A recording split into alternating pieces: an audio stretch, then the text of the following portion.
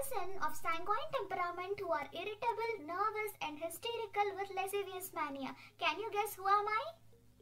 Yes, I am Hyoscyamus niger. People call me Henbane and I belong to Solanaceae family. I am generally irritable, excitable person. I develop intense sleeplessness after any business embarrassments. Often it is imaginary. I often have fear to take what is offered by my neighbor. I even have fear to eat and drink in my neighbor's house. It is because basically I am suspicious. I even have a fear of being alone, being poisoned, being bitten, and being sold. One day I had dry cough which was spasmodic and aggravated by lying down and relieved by sitting up. And it was even aggravated at night and after eating, after drinking, after talking and singing. I had fever, my sensorium got clouded, my eyes were staring, teeth covered with the sordes, and my tongue was dry, and there was involuntary stool and involuntary urine.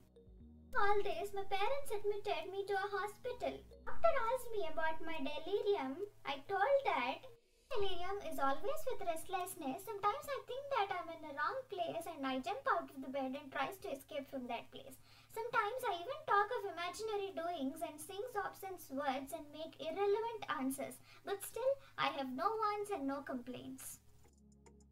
Mom told me that I even have lascivious mania with immodesty, will not get covered and kicks off the clothes and exposes myself and lies naked in the bed and chatters. I have bad effects of unfortunate love with jealousy, rage, incoherent speech and inclination to laugh at everything followed epilepsy. Doctor has observed that my spasms are without consciousness, very restless, and every muscle in my body twitches from eyes to toes. MS can also be prescribed in case of convulsions of children from fright or from irritation of the intestinal worms.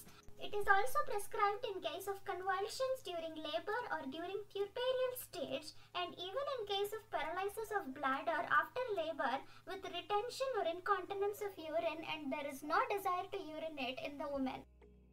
To MASH, belladonna, hyoscyamus and stramonium which are the trio of delirium, hyoscyamus occupies a place midway in between belladonna and stramonium.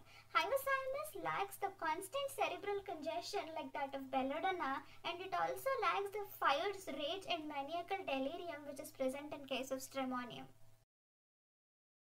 Don't forget that hyoscyamus is given in case of diseases with increased cerebral activity but of non-inflammatory type for watching. Make sure to subscribe and leave a comment down below that I have subscribed and we'll try our level best to reply to your comment. Thank you.